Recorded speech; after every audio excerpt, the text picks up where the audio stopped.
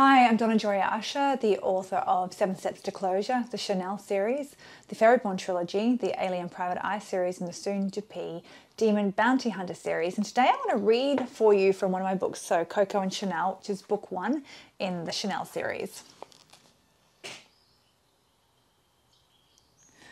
Where on earth do we keep all this stuff? I said. Here. Bob handed me a belt and then looked me up and down. On second thoughts, he said, taking the belt back, he returned a few minutes later with a vest. The circumference of your waist is too small to house everything. He pointed at his own expansive girth, where his belt easily held all of the required items. This will work better for you and you'll be more comfortable. Thanks. I spent the next hour back at the station arranging my vest, working out the best way to house the assortment of goodies I'd received in its pockets. Unfortunately, after that, it was back to the drudgery of reading the manual. I amused myself by playing with my expandable baton in an attempt to stay awake. I like a girl who knows how to handle a baton. I looked up from my manual, unsuccessfully trying to close my mouth while I gawked at the speaker. His face was a heavenly mixture of cheekbones, eyelashes, and kissable lips. His nose had been broken in the past, but the asymmetry managed to add to his looks by injecting a dash of bad boy to his blonde haired, angelic profile. Add to all this a body that, even through the confines of his suit, you could tell spent hours in the gym and an English accent, and I had to grip the edge of the table to stop myself jumping it to dry hump his leg. I wanted to say something witty in reply, but I'd been staring at him with my mouth hanging open, and if I didn't say something, soon he was going to think I was simple. Hello, I said. Great.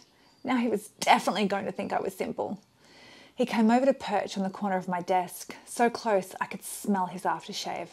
Good God, was it possible that he could be even more handsome close up? I also like a good bun, he said, peering down at my hair. His eyes were a startling shade of blue. I found myself staring into them, holding my breath. Detective Senior Sergeant Roger Richardson at your service, he said, holding out his hand. His accent was totally dreamy. I took it in mine and, still gazing into his eyes, said, Probationary Constable Chanel Bunn. Oh, oh, I mean Smith. Christ, did I really just say that? Constable Bunn, he said, smiling. It's a pleasure to meet you. I gave him my cutest smile, hoping I didn't have any donuts stuck in my front teeth and wishing I could think of something intelligent to say. What do you say to coming for a ride with me? I desperately wanted to go, but I didn't want to get into trouble on my first day. I'm meant to be reading the manual, I said, hoping that didn't make me sound like a loser. Let me have a word with Rami, he said, gliding off my desk.